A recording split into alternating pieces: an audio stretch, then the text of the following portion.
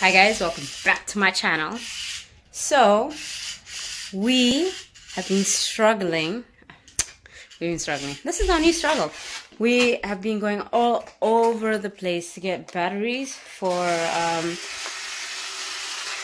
the saltwater batteries, and we have we have the Zegels, the post stamps I think for wait these. But yeah, and Timo got not just hubby got not just one battery but got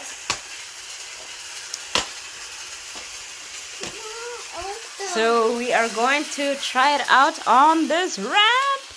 And why the other cars this is the one the one two and the third car. This one already has a battery. So we need just need to get yeah one more car. Racetracks. They like are no plastic. They're 100% biodegradable. Um, they're from Shell.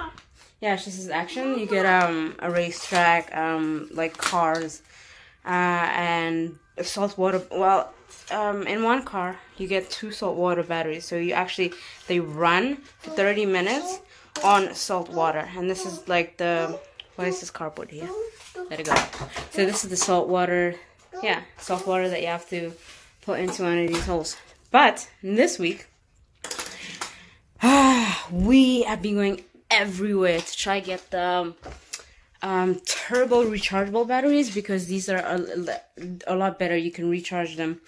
Um, and these ones, once you use them, you can't use this, them anymore. So that is, I'm just like super excited that he not only just got like one, but like three.